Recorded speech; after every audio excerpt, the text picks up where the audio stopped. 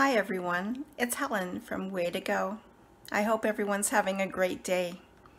I just wanted to show you that I, I made beef stew today and I wanted to show you what it looks like. And here it is. Let me just turn you around one sec. Here's the beef stew that I made today. And I'm just gonna take the cover off and see how it is coming along. Oh, lots of steam. Oh, looks really good. Oh, look at all those fresh vegetables. Got some carrots and some rutabaga, onions, potatoes, uh, beef, some celery, some barley, some, did I say onions? I don't know. Onions, so just gonna give it a little stir and see how it is. Oh yeah, oh yeah, look at all that beautiful broth in there.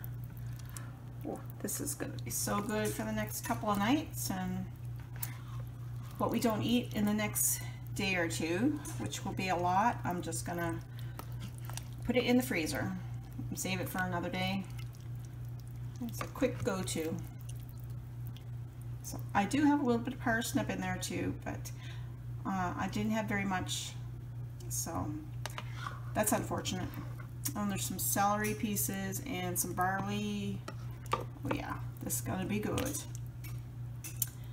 So I'm just gonna put the cover back on that. So it's not quite supper time, so we'll just let this go. And I'll take you over here, excuse the mess. And right now. I don't know if you can see it, but I got some lovely biscuits in the oven. Ah, that's gonna be good too. So yeah, I just wanted to show you what I'm having for supper, what we're all having for supper tonight. So I hope everyone's having a great day and we'll talk to you soon. Bye-bye. Just wanted to quickly show you what it looks like outside here in Nova Scotia today on March the 4th. We got a little bit of snow down this morning and just whitened and brightened everything back up again. The lake is still frozen. So very pretty but she can go. I'm so ready for spring.